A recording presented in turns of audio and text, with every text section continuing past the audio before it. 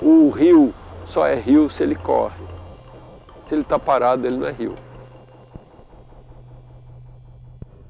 Você encravou o rio no meio de uma situação urbana que nem chegar nele nós conseguimos. E até a década de 70 se pescava e se caçava no Rio Pinheiros. Então, é, foi mais recente e muito abrupta a degradação desse rio. Se atribuiu aos rios e aos córregos uma função que eles nunca poderiam ter tido, que é de afastar o esgoto urbano. E junto com o esgoto vão todos os outros detritos, entulhos e tudo mais. O, o território do Rio Pinheiros, é, a bacia hidrográfica do Rio Pinheiros, vem desde a Avenida Paulista até o rio, Serra Corá, Doutor Arnaldo. Depois, do outro lado, desde Taboão da Serra, Imbu, Guarapiranga até o rio.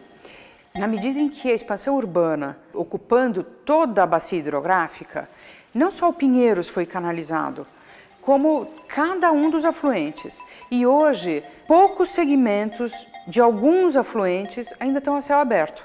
Cada bueiro é um acesso da água de chuva para um dreno, um cano, que vai parar no córrego que está enterrado e que depois vai para o Rio Pinheiros.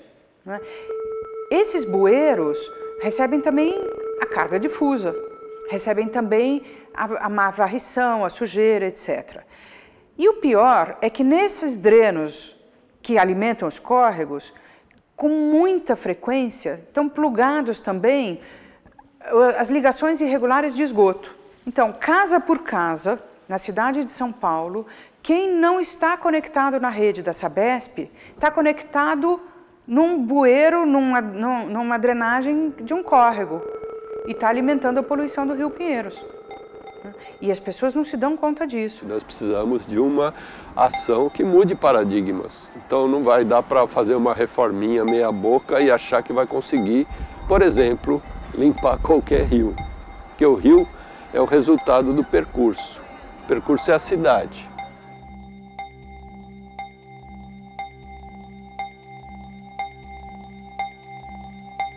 E a água tem o poder de dissolução fantástico, é o maior solvente universal que nós temos. Né? Então o que, que ela faz? Ela dissolve e arrasta. Um papel de bala que alguém joga no, no princípio da bacia, joga na Paulista, exemplo. Quando ela cai na canaleta, se não tiver nenhum sistema coletor, ela vai parar dentro do rio. E aí se acumulam as ilhas de assoreamento e vai acumulando ilhas e mais ilhas e formando esse volume dentro do rio. Sempre que chove, esse nível vai subir. Ele vai procurar área lateral. Aí que vem as inundações que no passado essa área lateral era várzea, hoje é cidade. O rio Pinheiros era o rio Jurubatuba, que recebia as águas que vinham da Serra do Mar na direção do interior. O Rio Grande e o rio Guarapiranga se juntavam, eram depois alimentados por vários outros córregos, os Avuvus, Água Espraiada, Ularia, Corujas, Pirajussara, Jaguaré, todos eles se juntando e chegando finalmente na sua foz no rio Tietê. O Tietê lendário da história pátria, que no século XVII foi a estrada líquida dos bandeirantes sertão adentro, civiliza-se, urbaniza-se. Na medida em que a cidade veio se expandindo para essa região, e na medida em que foi necessário gerar energia, se fez um projeto que foi muito ambicioso.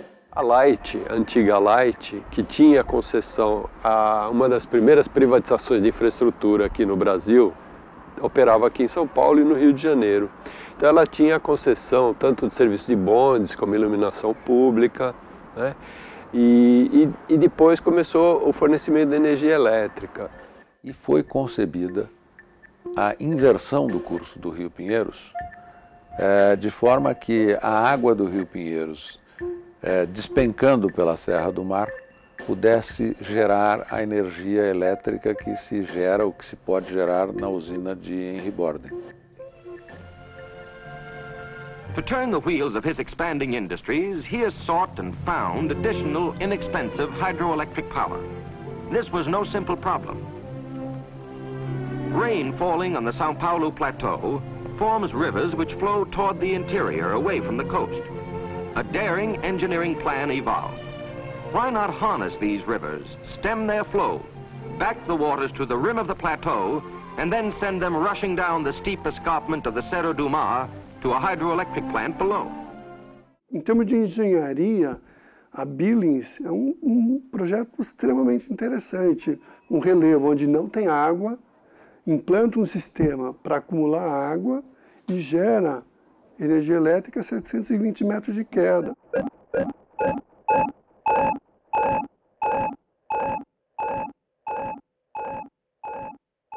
Todas essas obras condicionaram o uso da água quase que exclusivamente para uso energético e para uma empresa privada que vendia energia e tinha preço de monopólio, não tinha concorrência.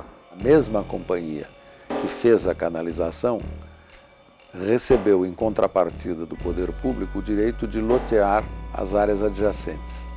Isso foi feito. A, companhia, a antiga companhia City também atuou em parceria com a Light e ela produziu os, os City Lapa, City Butantã, City Pinheiros, boa parte dessas áreas dentro de antigos braços do rio. Então isso deu início a uma alta concentração de população às margens do rio.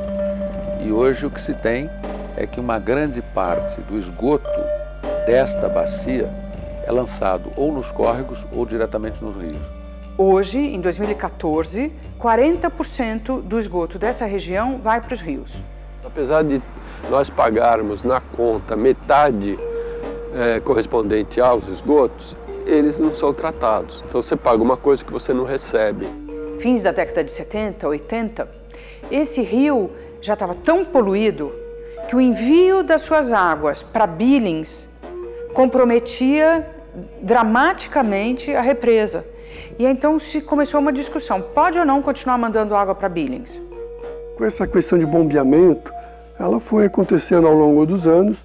É Light, depois girou Eletropaulo e depois girou EMAI, sempre foi bombeando, até que em 1989 a Constituição Paulista, em função da poluição da água do Tietê e do Pinheiros, proibiu o bombeamento para Billings para gerar em.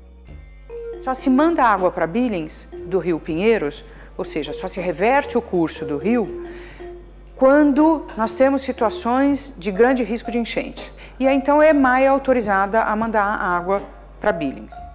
O rio Pinheiros funciona tecnicamente como um canal, porque ele é, é totalmente operado, a gente diz. Ou seja, a cada momento você pode definir se vai abrir mais as comportas ou menos e, e para onde ele vai fluir. Portanto, quanta água tem e em que velocidade ela anda. Mas o Rio Pinheiros nunca recebe águas das nascentes da Billings e Guarapiranga para limpar esse curso d'água, né? para dar alguma chance de ter oxigênio suficiente para a autodepuração que tem que ser renovada. O Rio Pinheiros é um lago, hoje, é um lago.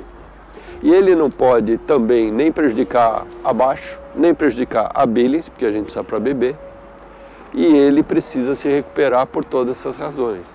Então, nós precisamos pensar no qual é o melhor regime para esse rio. Certamente não é tê-lo parado, certamente não é ter ele alto, cheio de sujeira, fermentando o tempo todo. A situação do rio é uma situação, eu diria, de uma visão deturpada que a sociedade durante algum tempo cultivou, é, que se traduziu num descaso, numa perda substancial da noção da importância, do valor, do significado que um rio tem para uma cidade. Na década de 30, quando se fez a mudança radical no Rio Pinheiros, o rio não era poluído e tinha abundância de água, porque a população era pequena também e porque nós não tínhamos feito a drenagem urbana canalizando e levando embora rapidamente as águas. Né? então, o, o olhar das pessoas, da sociedade, dos engenheiros, dos governos para as águas era outro. Hoje as pessoas já não estão mais aceitando essa mesma lógica. As pessoas querem conviver com as águas. O nascimento das Águas Claras do Rio Pinheiros, de alguma forma, responde a esse anseio, a uma vontade, a um interesse, a um desejo de se ter mobilizações a favor do Rio Pinheiros. Nós definimos que deveríamos constituir esta associação justamente para trabalhar nesses dois frontes principais. Um que é o da mobilização da sociedade pela causa do Rio e o outro que é a interlocução com os poderes públicos e com as eh, sociedades de economia mista que têm uma atuação direta nos destinos do Rio. Tem muito conflito de interesse e a gente tem que elucidar isso. De quem é a responsabilidade na nossa sociedade por garantir que nós vamos ter rios limpos? Quem nos governos deve ser cobrado para ter rios limpos? Não existe essa figura institucional, não existe um modelo financeiro, jurídico para isso. Tem que ser inventado.